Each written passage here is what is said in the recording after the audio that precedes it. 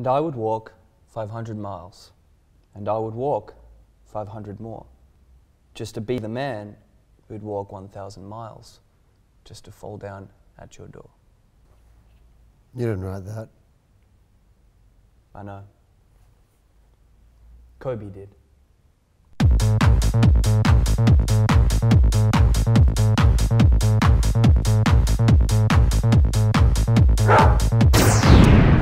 Thought ISIS was bad, well, there are new troublemakers on the streets threatening to beat up your kids for half the price.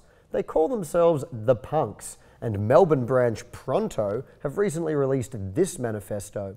Matt, is society over? I think you'd, you'd probably think so from the opening 10 seconds on this record. It's, it's pretty bombastic. It hits you in the face. It's just like full on assault of cymbals and searing guitar leads and just huge garage punk rhythm guitars. It's great, and they've cranked everything up in the like the vocals are like pretty low in the mix, so you got that proper, that real like good Melbourne punk sounding like production values of it's just so like lo-fi and kind of like mm. just they're in the room, you know, just every just the fuzz of the noise of them playing. So yeah, the singers actually got to like yell over the top of the mm. the caterwaul, which sounds great, despite it being like pretty like fucking brrr, like heavy and noisy and kind of lo-fi. Like they've definitely got their pop hooks. Yeah. Like, this is a hooky band. Mm. It's a 26 minute record, so it just like pumps through it all, which isn't to say that it's just all the tracks really short and fast and sweet, mm. which is great. I felt like the hi hats and the cymbals are truly fucking deafening in the mix. Piercing. Yeah, and it does form like a bit of a barrier between the listener and I guess the full aggression of the album because you kind of just reach for the volume knob as soon as you hear it. You just hear that that like intense frequency. Apart from that, yeah, the lo-fi thing does it for me really well. For me, I I give this a, a solid three Zacks and half a Gotchy. I mean, it's great. It's just a great fun punk release from a punk band that I think will, as far as I can tell, keep pumping out great punk releases and anthemic punk. I reckon it's a. I'm gonna give it three Zacks and half a Gotchy as well. Listen to this record. La Bamba, Obla Dee, Obla Da, Do Wah Diddy, Diddy Dum Diddy Do, Viva Las Vegas. It seems like musicians have been singing about utter shit for years now, but that hasn't stopped Yo La Tengo, who bring us their new covers album, Stuff Like That There. But Zac, did they do Wonderwall justice? Thankfully, not, in that they didn't perform that song.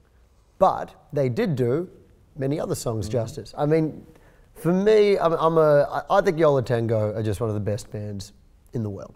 They're certainly reaching the, the elder statesman phase of their career, and you can hear that on this record. I mean, the covers are all primarily like 60s tracks, then very 60s influenced pop style hmm. tracks, performed very gracefully, very softly. I mean, I think that the biggest star of this record is um, Ira Kaplan's just exceptional guitar playing. I feel like Kaplan's guitar is more in the fore because there's a lot of songs here where George is singing.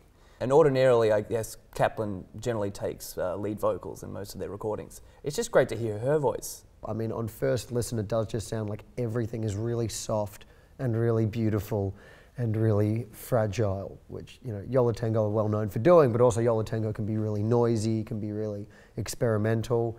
That's kind of all gone. Like this is very much just Yo La Tengo play songs they like very softly hmm. and very sweetly. Hmm. If you need like a soft, beautiful record, you're probably going to struggle to find. It's good Dido. Yeah, it's, yeah, it's better that put it on instead of the Dido Yeah, yeah, yeah. record. Certainly, I mean, it's so relentlessly just beautiful, and the song selection is excellent. It's about sixty percent just really great covers, a couple of new ones which are both gorgeous. One- and fit so well with the covers. That's the best thing about this album, I think, is is how well the originals and the covers of their own um, older songs and, and the covers of the classics as well all just seem to fit so perfectly. They're not pushing themselves here out of like into unfamiliar territory, but that doesn't change the fact that this is perhaps one of just the sweetest, nicest listens from top to bottom Mm. that you can have. It's a real treat of a record. I'd recommend it to anyone that likes music. Lazy Sundays, Joan It's- Dere's a bit of spot of gardening. Yeah, it's such a lazy Sunday record. Put it on at your Christmas lunch, you Ooh, know. yeah. It's a great record. I'm going to give it four Zacks. And that's three Zacks and half a Gotchy. And we'll see you next week on At the Music. Don't count your chickens until they've hatched, Matt. Who said that? Kobe Bryant, baseball superstar.